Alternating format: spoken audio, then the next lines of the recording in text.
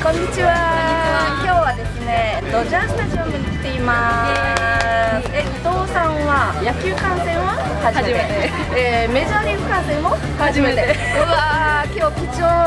初観戦ですよ。で、今日はですね、ジャパンナイトということで、1回、えジャパンナイトを開催しているんですけれど、今年はなんと前剣のボブルヘッドがいただけるということでですね、おそらく日本人のあの観戦のお客さんもね多いんじゃないかと思います。ということで私たちも前剣のボブルヘッドをゲットしたいと思います。ということでですねゲットしました前剣ボブルヘッド。イエーイ。